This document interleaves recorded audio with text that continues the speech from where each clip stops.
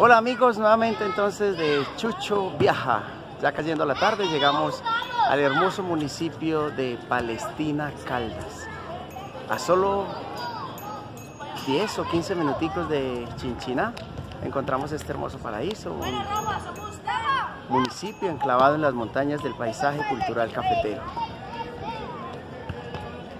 Muy tranquilo, muy ameno, al cual también todos están invitados a que conozcan.